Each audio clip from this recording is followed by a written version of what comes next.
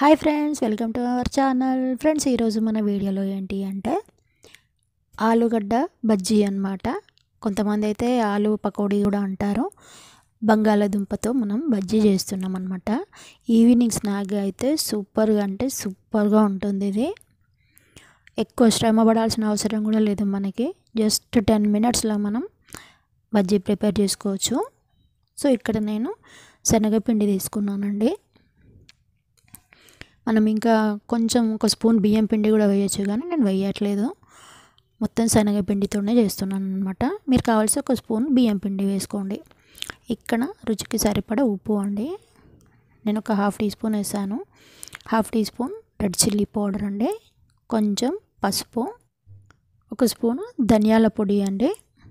ధనియా powder కొంచెం అల్లం వెల్లుల్లి పేస్ట్ కొంచెం అంతా వంట సోడా అనమాట సో దీన్ని బాగా కలిపేసి ముందు ఇవన్నీ వీటికి పిండిలో మిక్స్ చేసి మనకు క్లమ్స్ లేకుండా ఉంటుందన్నమాట తర్వాత. సో కొంచెం కొంచెం వాటర్ వేసుకుంటూ మనం పిండిని ప్రిపేర్ చేద్దామన్నమాట. సో దేంట్లో అయినా మనం ఒకటేసారి వాటర్ వేయకూడదండి. ఎందుకంటే శనగపిండి కాబట్టి మనకి తొందరగా లమ్స్ ఉంటున్నాయి. అలాగే ఉంటాయి. కరగవు. సో చూసారు కదా ఇలా ఉండాలి మనకి కన్సిస్టెన్సీ అనేది పిండిది. సో మనకు బంగాళాదుంప పిండిలో వేసినప్పుడు అది పిండి జారిపోకుండా ఉంటుందన్నమాట. సో ఇది కాసేపు పక్కన పెట్టేసి మనం ఒక బంగాళాదుంప తీసుకొని పొట్టు తీసానండి నేను. పొట్టు తీసి మీరు బంగాళాదుంపలు తురిమేది ఉంటుంది.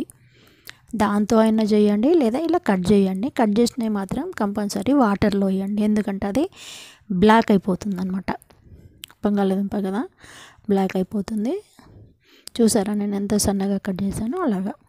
మరీ లావుగా కట్ చేసుకున్న బంగాళాదుంప లోపల ఉడకదు కదా.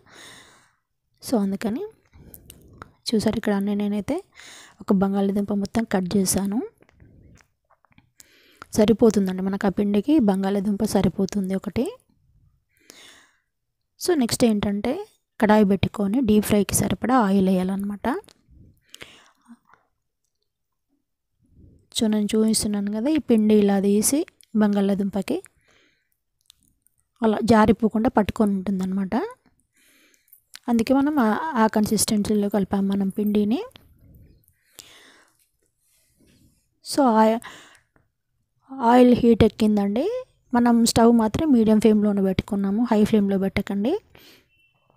హై ఫ్లేమ్లో పెడితే ఏమవుతుందంటే బయట మొత్తం మాడిపోయినట్టు అయిపోతుంది. లోపల మనకు పచ్చి పచ్చిగా అలాగే ఉంటుందన్నమాట. అందుకని మీడియం ఫ్లేమ్లో పెట్టండి. బాగా ఫ్రై అవుతుందన్నమాట మనకి.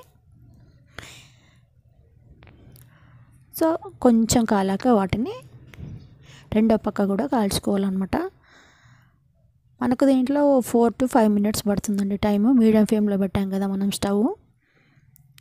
సో అందుకని ఫోర్ టు ఫైవ్ మినిట్స్లో మనకి ప్రిపేర్ అయిపోతుంది. మన బంగాళాదుంప బజ్జీ అన్నమాట. చూసారా? ఎంత బాగున్నాయో. ఈవినింగ్ నాగే అయితే అసలు సూపర్ ఉంటాయి. సో ఇక్కడ నేను అన్నీ ప్రిపేర్ చేశానండి. ఎక్కడ పిండి జారిపోకుండా బాగా వచ్చాయి చూడండి. మీరు ఇక్కడ దీనిపైన చాట్ మసాలా వేసుకోండి లేదా ధనియాల పొడి చల్లుకున్న బాగానే ఉంటుంది. నేనైతే ఏం వేయలేదనమాట నేను అలాగే తింటాను. సో మీరు ట్రై చేయండి ఫ్రెండ్స్ ఒకసారి ఈ రెసిపీ. ఈజీగా అంటే ఈజీగా కదా మనం చేసుకోవచ్చు. నాకు తెలిసి ఎయిట్ టు టెన్ మినిట్స్లో మనకి బంగాళాదుంప ఆలు బజ్జీ అనేది మనకు స్ట్రీట్ ఫుడ్ అయితే బాగా దొరుకుతుందండి హైదరాబాద్ ఇక్కడ. సో ఫ్రెండ్స్ మీరు ట్రై చేయండి ఒకసారి. రెసిపీ మీకు ఎలా కుదిరింది నాకు కమెంట్స్లో చెప్పండి. వీడియో నచ్చితే లైక్ చేయండి షేర్ చేయండి కమెంట్ చేయండి. ఛానల్ని సబ్స్క్రైబ్ చేయడం మాత్రం మర్చిపోకండి ఫ్రెండ్స్. ఇలాంటి మంచి మంచి వీడియోస్ అన్నీ మన ఛానల్లో వస్తూ ఉంటాయి. ఒకసారి మన ఛానల్లోకి వెళ్ళి వీడియోస్ వీడియోస్ అన్నిటిని ఒకసారి చూడండి ఫ్రెండ్స్. చాలా వీడియోస్ నేను అప్లోడ్ చేసి ఉన్నాను. ఈవినింగ్ స్నాక్స్ కానీ ఇట్లాంటివన్నీ. మన ఛానల్లో బ్యూటీ టిప్స్ కూడా ఉంటాయి ఫ్రెండ్స్ అవి కూడా చూడండి. బై ఫ్రెండ్స్ నెక్స్ట్ వీడియోలో కలుద్దాం. Till then bye.